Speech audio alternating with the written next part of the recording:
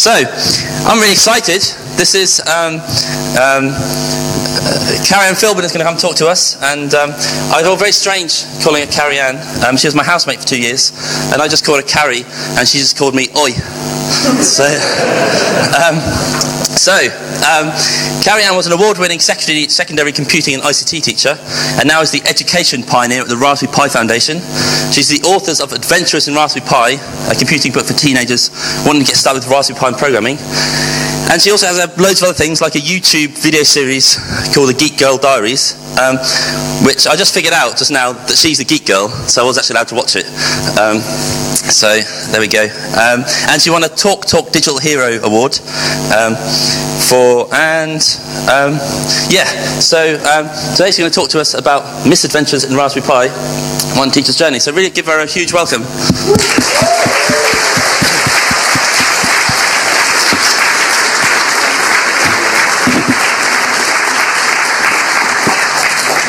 Uh, knows me really, really well, yeah, by that introduction, sure. Um, so, anyone who was here earlier would have known that um, Ben Nuttall got up and spoke, and I've been quite heavily involved in um, the organising of the education track with Nick and the planning of it. And I've got this kind of joke with Ben. He goes to every Python conference, wherever it is, and I said, oh, you know, really, we need to give you some kind of bingo. So, like, everyone you go to, if you go to everyone in one year around the world, you, you know, you get bingo, or if you go to everyone on a continent, you can get like a line. And then I realised he was giving talks at all these conferences, so I said, oh, well, maybe we can give you points for the, for the conferences. And then he said, oh, yeah, I get bonus points if I give a keynote. I was like, yeah, yeah. So when Nick said, asked me to do the keynote, I'm not going to lie, I, I really, I said yes, just so that I could turn around to Ben and go, guess who's doing the keynote? And it's not you. Um, that's a true story. So um, I was, up until Christmas, a full-time computing teacher. Um, before that, I worked um, sort of in schools as a technician before I went into teaching, and now I work full time for the Raspberry Pi Foundation, and that is actually my job title, Education Pioneer. That's my job title. I'm the only education pioneer there. Um, and as Ben mentioned earlier, there's a few of us here um, today. Our director of education, he's not here. He did, you know, he drew the shortest straw. He had to go all the way to New York and give a talk at Maker Faire, whereas we're really lucky, we got to come here to Coventry. Yeah. so um, I'm just going to kind of run you through um, my journey that I kind of went on and how important PyCon has been in that journey. So in February 2012, just like everybody else on uh, so the last day in February, I tried to purchase a Raspberry Pi when they were launched, like everybody did, and we all had that great day where we had to refresh the website because it kept going down to try and get one. Great times. Um, and so I did eventually get one. It didn't arrive until about May. I plugged it in, got it all started, and then I sort of sat back and thought, well, it is just a Linux box. I've used Linux before. There's nothing really exciting about Raspberry Pi for me in education, and yet it's designed and and developed for children to get started with uh, computing. So, so what do I do? And um, I heard that there were these great events going on called Raspberry Jams, uh, where enthusiasts would just get together and explain kind of projects and things they'd been doing with Raspberry Pi. And I thought, well, I'm a pretty good teacher. I can go along, take some of those projects, turn them into um, pro- uh, resources or some kind of scheme of work that I can use in class. So I went along to my first Raspberry Jam in London. Um, it's at Mozilla Spaces, that's where it was. Um, and I turned up and I was one of three women out of about 50 men. This is not unusual. Uh, and so I was kind of picked upon and said, Well, would you like to kind of say why you're here to the people who are here and maybe, you know, engage them in some way to help you in what you're trying to do?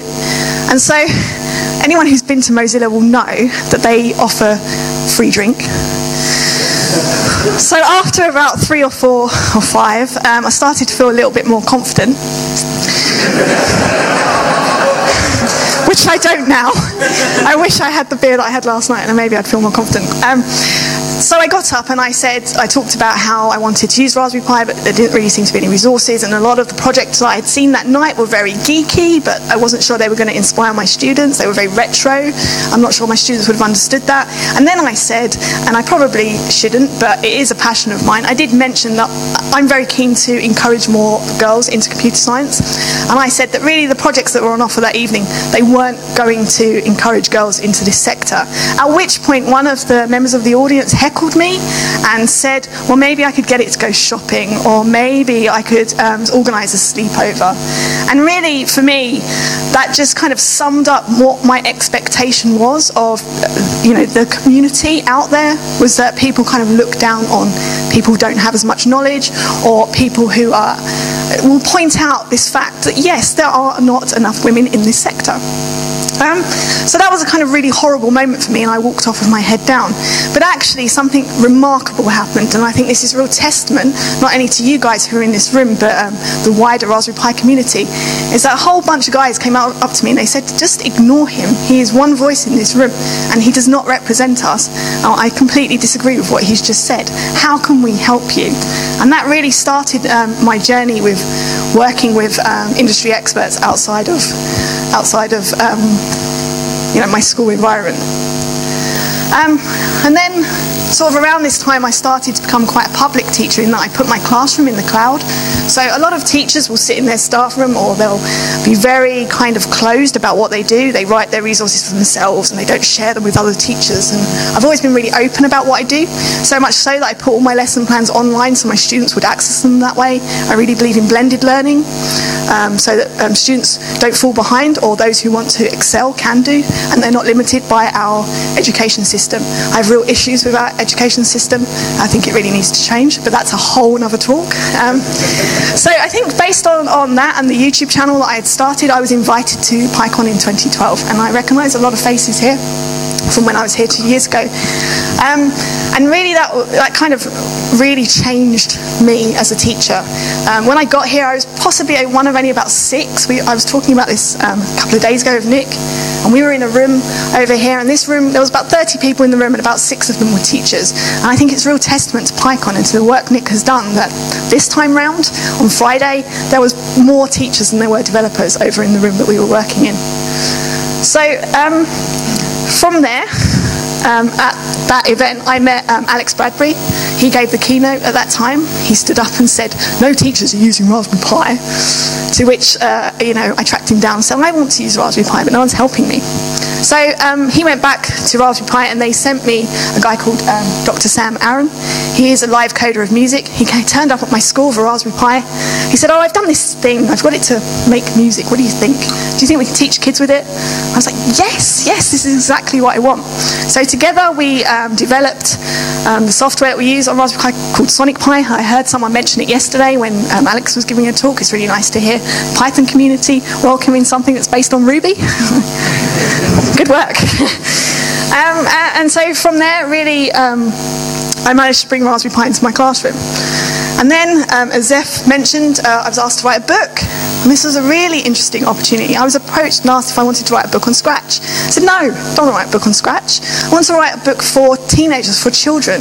There's a massive gap in the market where young people just don't have access to materials or, or book, tech books in particular that aim towards them.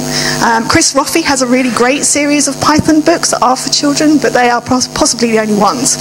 And I was really adamant that my book had to be in full colour. I think that's really important. And um, Adventures in Raspberry Pi starts with just setting up the Pi. It goes through um, using Scratch. There's some Turtle stuff in there, some crossover between Turtle and Scratch and in Python, and then a whole chapter on Python, and then it kind of keeps going. Sonic Pi, Minecraft Pi. There's a whole physical computing project. So it's more than just it's a Python book or it's a Scratch book. It's about computing, which um, Ben mentioned earlier in his talk is really important to us at Raspberry Pi. And then, um, as Zeph mentioned, I also, uh, uh, sort of towards the end of the year, won an award for my YouTube channel. So I created a YouTube channel in the hope that girls would watch it, maybe. I, uh, but I understand that young men also like computing, so I hear. So um, I do have a fair male following. I probably have about, what, 90, well, 80% probably following of men uh, versus women, but that's, I'm told that's quite good um, for a YouTube channel uh, using the content that I have on there. So I make videos on like soldering or um, doing fun projects with Python and Raspberry Pi. Sometimes I interview women working in tech. So the women who are in this room, who are developers, I'm going to track you down and you will be interviewed. You have no choice. Okay, so, and then this amazing thing happened, and Eben Upton, just out of the blue, emailed me. I didn't even know he knew my email address, and he literally two lines was like, "We want you to come and work for us. What do we need to do to make it happen?" And uh, it took me a while to really consider this. Um, it is a fantastic opportunity. Um, looking back now, I, I don't know why I hesitated, but then yesterday we had 70 children here, and it reminded me why I did hesitate because I do love working with young people, and I do miss the children and the relationships I build with children. Um, so I've done quite a lot of things. I've missed out some stuff like I got to talk at Westminster. That's amazing. You know, I get to stand up in front of conferences like this and talk, which a couple of years ago I would have laughed at if someone said that I would be doing this. Um, and really, all of this success comes back to PyCon. And so, really, my success is your success. It's because you are such a friendly community. I know standing up here, I am a bit nervous, but I know what a lovely bunch of people you are. And it's true. You really want to help other people. Um, there was a number of developers helping out on the education track on Friday and Saturday. You know, that's how great you are that you would come to a conference and give some of your time to help teachers learn or children learn. And I have to thank probably one person more than anybody else, which is Nick, because Nicholas goes above and beyond any other developer that I've met and he organises the education track here. And it is by far one of the best experiences I've ever had in my teaching career, uh, and for the trainee teachers who come and all the other teachers who come. So if you didn't go and see the education track at any point, can I have a show of hands how many people went over and saw the show and tell? That's pathetic. You should all have your hands up. One hour, and you could have seen the amazing stuff that was going on. But really, I think we all, all of us, and on behalf of all the teachers who came, all the trainee teachers, um, all the children, I would like to thank Nicholas, and I think we should all thank him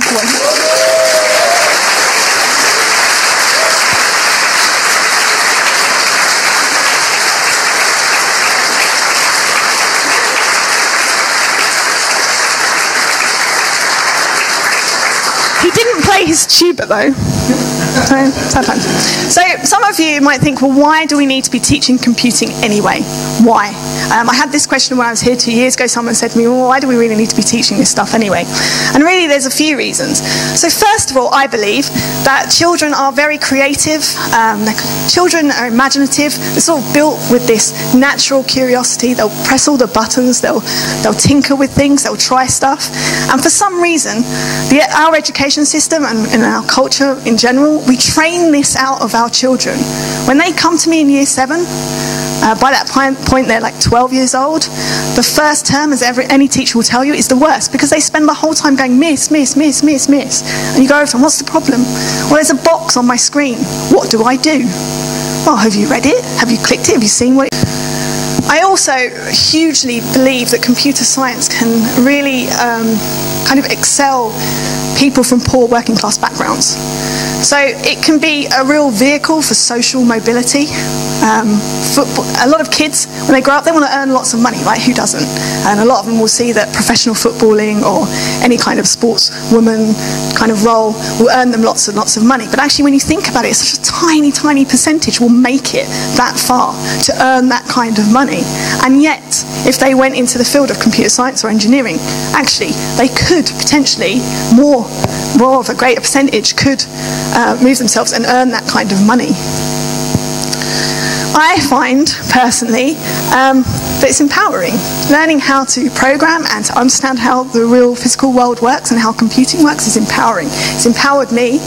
Um, I think really, especially for, for women, I think it's to be able to run a piece of code and execute it and it worked for the first time is really like, yes, I did it. And if anyone was over um, on uh, Saturday with the children, some of them would spend hours and hours sitting there until they got it to work. And then the, the, their faces, how happy they were when it worked. And that's an amazing, amazing thing to be around. As I said before, diversity in technology is really, really important to me. Um, there was a, I have been involved in the UK Digital Skills um, report, which was led, led, by Maggie Philbin, no relation. Um, and one of the kind of outcomes of that is some suggestions for government, and it was found in that report, and you can go and have a look at that report, it's online, is that 16% of IT specialists in the UK are women. And that's, that's a fact, that's a, a recent study. Um, only 6.5 of A level computing students last year were female.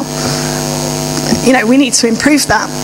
And so I think teaching computing will, will help improve that. And then, I don't know if anyone is a CGP Grey fan. I really like YouTube, um, especially um, educational stuff on YouTube.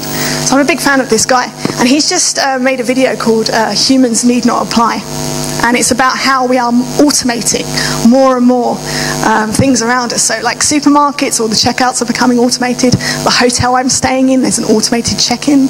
Um, driver, you know, cars that drive themselves. Potentially, what could happen is we could have um, a large proportion of people unemployed. Um, I would argue that by teaching computing, actually what we're doing is we're, we're skilling our children for a world where this automation exists, and hopefully they will then find new jobs or work in a world where um, they won't be unemployed. And of course, as of September, we have a new computing curriculum. And it's really important to point out this is a completely new curriculum. ICT was taught, it is now one strand in the new computing curriculum where there is about six strands. So, Michael Gove said. so, from the age of five, children will learn um, to code and um, to program. In particular, they will need to understand algorithms, sequencing, selection, and repetition. That is the case. So, Key Stage 2, um, this is on the program study. And for primary school teachers, um, this could be a bit of a challenge, but actually we know this doesn't mean they're going to be learning, you know, C++. It means that they are perhaps um, acting out sort of algorithms like putting on their clothes, getting dressed for school, or maybe they've got little turtle bots and they're doing um, little act maze activities. Um, from 11, so this is secondary school, early secondary school, at least two programming languages need to be taught, and one of which has to be text-based. So in primary, what's generally happening is people using Scratch. And in secondary, um, you're able to use Scratch, but then you have to teach the text-based programming language. Wouldn't it be great if that language was Python? And it is kind of the default program, the programming language that is being picked up at the moment. Is a lot of myths around this sub, the kind of new subject coming in. Um, one thing I find really irritating, uh, several times I've been interviewed by BBC News uh, and, and other news organisations, and I'm, I get very, very frustrated by things that they write. The new coding curriculum, that is the one that comes up the most. It's not a new coding curriculum. Algorithms and programming are two strands out of six. It is not a coding curriculum. Um, there is networking in there, there's hardware, there's much more than just programming. And the other myth is that no teachers, not one teacher in this country, is prepared for this new curriculum that we've known about for over two years. Come on, that's not true at all. We've known it was coming. Um, lots of people were skilling up. I came here in 2012 to skill up. Um, and also, there are teachers out there who come from computer science backgrounds. This change, this new curriculum, was led by teachers. It started with teachers who wanted to change what was happening. They led the charge, and then it was picked up by people like Google and uh, Michael Gove and the, the, change of government. And so that's why it exists now. So not all, all, all teachers are idiots. That's the kind of the first point point, right? It's not true. However, having said that, according to um, government data, over 55% of secondary school teachers do not have a A level or above equivalent qualification in computing. So over half the computing teachers that there now are they don't have that kind of computer science background. So there's a real push at the moment to get more computer science um, teachers involved. So there is some teachers who will shut the door and they'll stick their head in the sand and they are concerned about these changes, um, which is why conferences like this that welcome teachers are really, really important. Um, a recent um, TES and Nesta survey found that 60% of England's teachers are not confident about delivering the new computing curriculum. And that's a really important word, confidence. Coming here and learning a few um, skills about Python is great, but actually it's giving them the confidence to go back into the classroom that's more important than learning kind of Python intro. And so what we do um, at Raspberry Pi is we run a training course called Picademy, and it's completely free. So any practicing teacher, wherever they are, they can sign up. Um, and we invite them to Pi Towers. And what we try and do is instill some confidence into what they're doing. The government have only provided £3.5 million to fund the upskill, the training of teachers for the new curriculum. And that might sound a lot, but when you break that down, it's £175 per school. That means that a school cannot release a teacher for one day because that doesn't even cover the, the supply cover costs for, to replace that teacher for a day and that's ridiculous. So it's really important for us at Raspberry Pi, we offer that training completely free. And something I've been arguing for for a while is some kind of bursary where we can also fund them to leave the classroom as well, uh, perhaps pay for their accommodation and transport. But Raspberry Pi is a charity. Um, I'm, I'm, hoping out of this, maybe the PSF will get involved, or maybe if you work for some companies, that you might offer um, some funding towards helping release teachers. Something that was happened here at this education track, which I've never seen anywhere else, was some of the funding for, for this conference was put towards um, providing uh, bursaries for teachers to be able to come out of schools, again led by Nick. And I think that's testament again to PyCon UK for thinking outside of the box. Well, we want teachers to get here, we're going to help them get here. And that's definitely something I want to do. So, why would a teacher want to use Raspberry Pi in their classroom anyway? Uh, for me, it was a classroom solution. So, if you, I don't know if you've been in a, a, kind of IT room in a school recently, but what, what, tends to happen is all around the outside are monitors, all facing in, and all the computers are there, and they're all on lockdown. Um, I worked in a school where we had um, devices called RM1s, and RM1s are designed so that the screen and the whole computer is built into one. So there's no way you can get into that computer or even attach anything to it, you know, because children are evil and they're going to break everything. So for me, Raspberry Pi was a real solution because um, I didn't need to go to my network administrator for anything. I just needed my Pi and a few monitors and things. And to get my monitors, I just went on Twitter and I said, anyone out there got any DVI or HDMI monitors that you're getting rid of? Um, I'll take them off your hands. Within half an hour, someone about 20 miles away from me in Chelmsford got in touch and said, yep, I've got monitors. If you come and get them, they're yours. And other teachers have had similar success stories in that way. So if you've got a load of monitors that you're getting rid of, you know, there are plenty of teachers who will take them off your hands. And, uh, and I just got the kids doing physical computing in my classroom on the desks um, without even touching the computers that the school provided. So all the computers are around the outside and all my students are in the middle, hands on with their um, Pis, plugging things in, having a great old time. And as soon as you put a Raspberry Pi in front of a, a child, they will ask you questions. What is it? How is it a computer miss? Um, what, what makes it different to that one over there? And then you can start asking them, well, what do they need to get this to, to work? And then they can start talking about input and output and, and so on. And it, it's just a learning opportunity. And anyone who's ever taught children will know if children start asking you questions, you are onto a winner because they are engaged. And of course, it's really cheap. Um, you know, very, very cheap and uh, cost effective. And we had some wonderful robots here at the education track that they cost £4,000. There's not a chance my school would fork that out for me to have that one robot. Um, and they charge uh, the guys who brought them here, they're, they're, cool. They will go into schools and demonstrate these robots, but again, it's going to cost £600. Um, anyone who's run a department will know your department budget is very small. If that year uh, uh, a new exam has come, down, come out, you've got to buy all the textbooks to go with it. There's just no funding in schools. It's some kind of myth that schools are hoarding all this money. We're really not. Um, so Raspberry Pi was a real cheap solution. And it allows you to control real world things. So the GPIO pins that Ben was talking about earlier, they're really important. Turning on and off, off an LED who knew, right? Who knew that that was engaging? I had no idea until I did this with my students. Turning on, on and off an LED, I've never seen kids so excited in my life. Yesterday, we had um, like input buttons and cameras where they were um, using them to take pictures. Again, who knew? Pressing a button on a breadboard with a couple of wires would make children so happy. Um, project-based learning, I'm a real believer in this as well. Why is it we go to school and we segregate things into different subject areas? Right, there's so much um, crossover. We call it cross-curricular in, in, schools.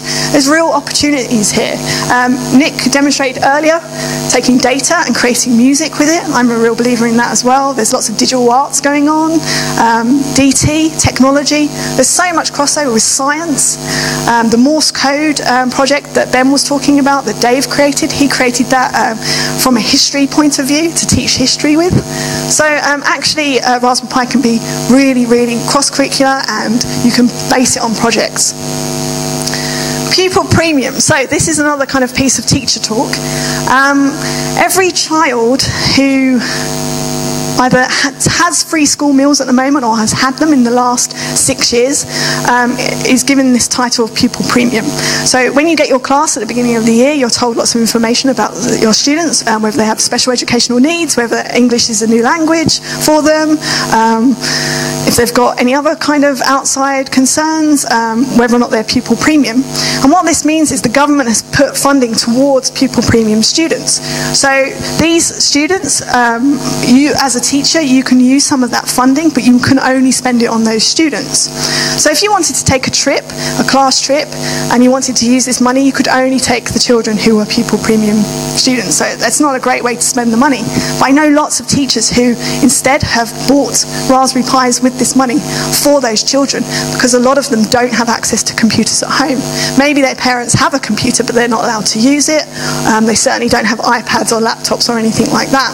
So to have a Raspberry Pi although it is, you know, for us uh, in the tech world may seem a bit slow, you can do plenty on it for, uh, you know, a child. And actually, I would argue they're getting more out of that than if they had, um, you know, a shiny Apple computer. She says with a shiny Apple computer. Um, so Ben also mentioned that um, we create free resources. So part of my job at Raspberry Pi is to write resources um, for our students. They are completely free. They are Creative Commons, share alike, um, licensed. We don't even put a non-commercial on there. You know, we completely believe in open source and we believe that our resources should reflect that. Um, so if you want to have a look at any of them, they're on our website, which is raspberrypi.org. Um, they're also hosted on GitHub, so you can fork them and change them up if you want to. Um, if you see any mistakes in them, because there's bound to be, because I wrote them, uh, please, you know, why not try and fix them for us?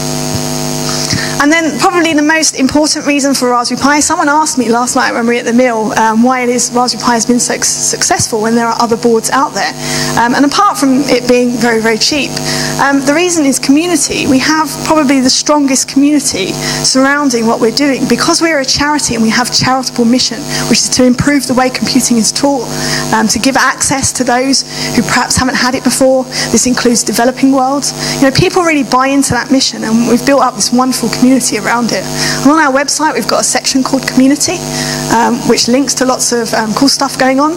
But we also have the forums in which people um, contribute answers. And we really encourage our teachers who come through our training program to ask questions on there because they will get a friendly response. Teachers being online is something they find very difficult.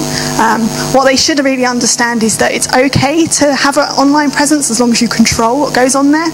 Um, the first nine pages of Google, if you Google my name, is me, but I do have a strange name. Um, so it's kind of okay. But they do find forums really difficult. But community is important. So, this is where it comes back to you guys. What can you do to help teachers, to help with this um, new curriculum? How can you help teachers feel more confident? How can you get involved? Um, well, you can kind of join stuff that's already happening, right? So, we had an education track here for two days, which half of you couldn't even bother to walk over there and have a look at, right? Shame on you.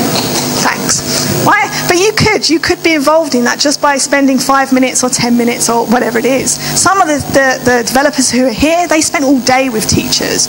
Uh, and I can't thank you guys enough um, because you, you perhaps adopted a teacher without even realizing it. So other things that you can do is attend Raspberry Jam events. So like the event I spoke about before, there are Raspberry Jams all over the country. So stuff like we did yesterday with the children is happening all over the place. Find out where one is. It's not just here. There's one in, there's some in Germany, uh, the States. They're just all over the place. They're worldwide.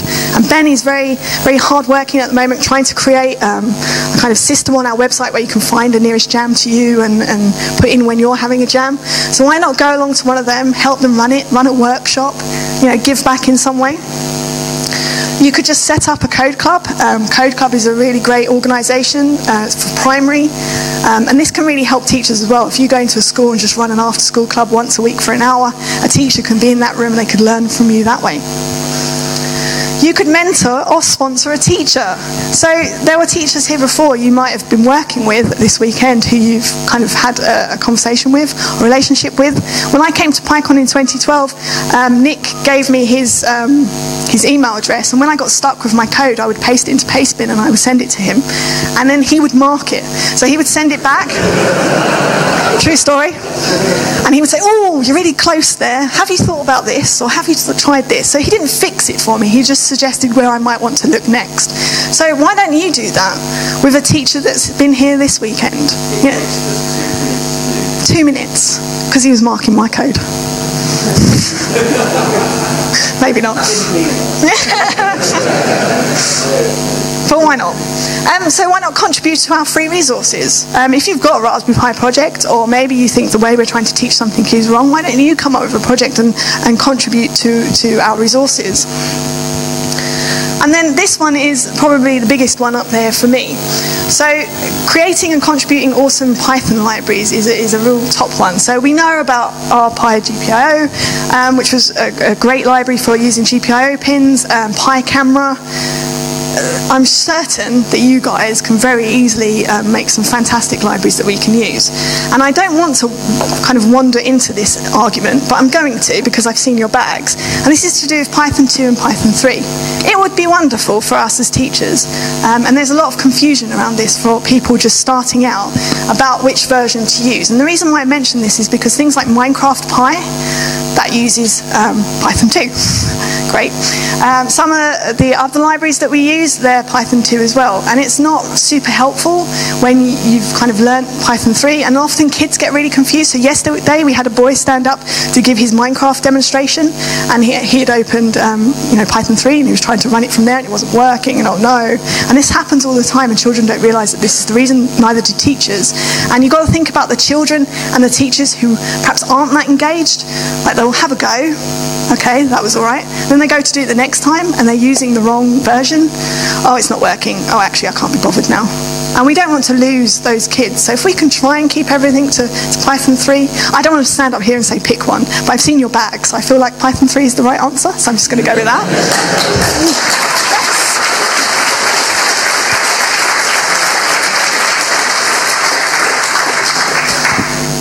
Really believe in collaboration, which is why I come here and why I encourage other teachers to come here. This is my really, really scientific Venn diagram. Um, so here we've got teachers, we've got industry experts, that's you guys, um, and we've got academics. I really only put academics up there because my boyfriend is an academic. But um, I'll just be nice. Uh, but actually, something really exciting happens when we all get together. Um, really exciting. This little small area in the middle, that's kind of us guys. Um, teachers bring to the table lots of know-how that you don't realise they know. Okay, how to control a class is interesting. How to break things down for children to understand. Just lots of different ways of dealing with a class that you don't realise that they can do. And that's years of experience and training and, and dealing with young people. Um, Zeth took the mick out Nick for his teacher voice and the way he got the, the, the children's attention, but it worked. Why? Because he has experience of that. So, so don't kind of rule out a teacher's uh, what they can bring to the table. They might not have the subject knowledge, but hey, they have a lot of knowledge. Um, and something happened with me um, recently. I went to the London Python Dojo uh, meetup. um, I was invited along and I brought a kind of assessment framework for the new computing uh, program of study and I, I kind of mentioned it and all the guys who were there really welcomed me and they all chose a box on the assessment framework and they went off and they spent a couple of hours hacking away, creating some kind of resource that children or a teacher could take into the classroom to use to teach um, based on that. How wonderful is that? These guys who give up an evening of, of their time to have fun actually decided to do this because they were interested in it. So if you are part of a, a, a group who meet regularly, why not invite some teachers along and do something similar? Um, because this collaboration can really end up with wonderful things happening. One of the resources that was created, I took back to work, I wrote it up, it's now on our website. Um, so that's how you can contribute. Um, CAS as well, Computing at School, they are the, the kind of group, volunteer based group. Um, pretty much all the teachers are now signing up for CAS. It's got a massive membership. Um, I'm part of a subgroup of that called CAS Hash Include, along with Dawn, who's going to be up here talking later.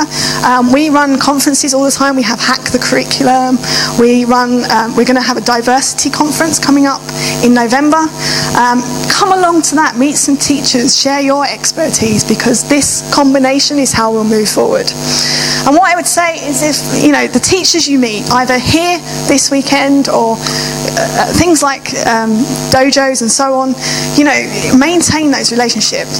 You know, teachers, really, they're for life. The ones you've met, they're not just for PyCon.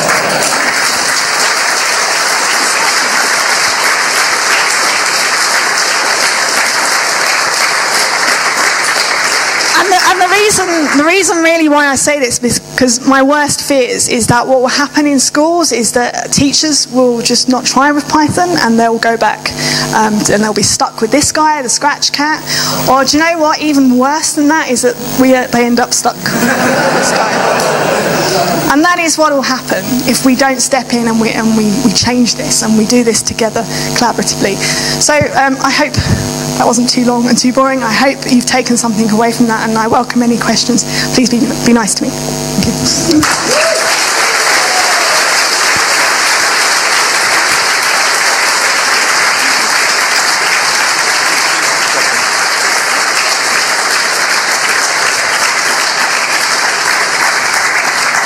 Okay, thanks so much for that, Carrie. We have um, just a little time for questions. Lunch went on a bit long, so we're just going to do a few questions. Um, can I ask you questions can be a little bit question-like and a bit less monologue-like, so we can fit a few people in. Uh, thanks. First person. So just curious, you've mentioned Scratch as being a bad place, not quite as bad as the Microsoft paperclip. Um, what does Python bring that you don't get learning Scratch? Scratch is a fantastic tool. I'm certainly not, not going to discourage anyone from starting with Scratch. MIT have done an amazing job. It teaches computing concepts. It's fantastic. You can use it on the Pi to control, you know, physical things. That's amazing. However, my, my, what I'm terrified of is that it becomes the new PowerPoint. And teachers will just resort to that and they'll just teach using Scratch and they won't move on from it. And I think actually there's a lot of power in using text to control a computer. Um, and I think that there needs to be that natural evolution towards text-based programming. Scratch is limited. Could, there's lots of things you can't do with it. Um, there's issues with variables and things for, for starters. Um, but it is a fantastic starting point. I certainly, you know, I expect all primary schools teachers to be using it as they should do. It's free. Um, but in secondary, I, I question if people are still teaching it to 16-year-olds, which I've seen happen. Okay, next question. Next question. You mentioned mentoring teachers. Um, probably most of us don't know computing teachers. How can we get involved? Okay, so there are computing teachers here. Um, they should probably make themselves known to you. I can spot a few of them. Yes, there's people waving their hands. They're computing. So that's one place. Computing at school is another. Join the Raspberry Pi forums. That's another way that you can do it. Um, I'm sure we can set up some some kind of system for, for the teachers who are here. Yeah, Nicholas is nodding, so that's good. Um, and you're here, you're not ringing bells. I met you last night, I thought you were going to ring bells. Anyway. yes, right. Barefoot. As in the computing, um, the, the replacement of teachers, primary school teachers, that. Yes, yeah, barefoot. Yep. Code Club is another great way. STEM ambassadors, yes, uh, fantastic. There's so many wonderful STEM ambassadors that are here. That's a great way to get cleared for the, the you know, CRB, DBS checks that you need to be able to work with young people. Um, STEMnet, fantastic. Okay, next question over there, Jonathan. Will you be at the sprint on Monday? I will be, yes. We, well, we're doing a pylon sprint on Monday, so we're going to be working on that. So if anybody wants to, for example, create a Python 3 Minecraft library. Yes, please. did, you, did, you, did you say you're going to do that? I heard you say you were going to do that. right, next question. Quick, quick, quick. All right, over there.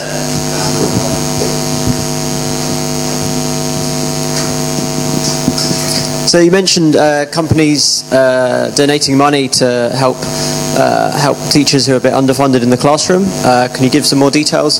so what can we do with that? Uh, well, so um, I think there's an idea at the moment that we're going to start a kind of PSF working um, kind of education group, so that we can see that all the things that are going on, so we can actually come up with these ideas together and decide how we're going to go about doing that. At the moment, it's just kind of an idea.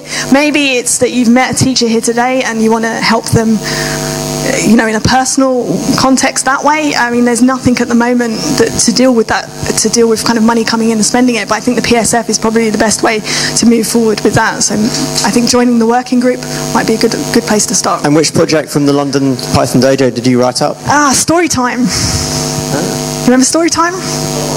Ah, sorry. All right, another question or two. Hands. Yeah.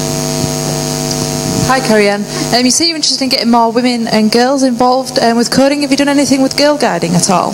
Yes, so um, uh, I've been involved. So Google and the Girl Guides at the moment are kind of working together. Um, I met Nick's wife's Girl Guiding group yesterday. They've created a computing badge. So what I want to do is connect them with um, the leaders at Girl Guiding that I've been talking to about turning that badge into reality. So yes, very much so. It's a great place to start. Van, Would is that working?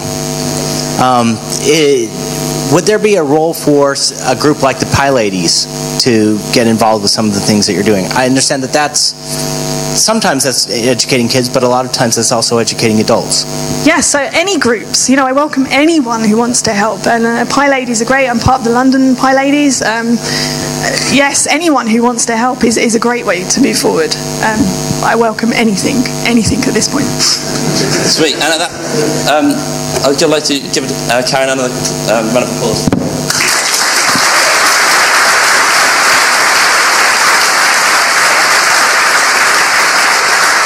Right.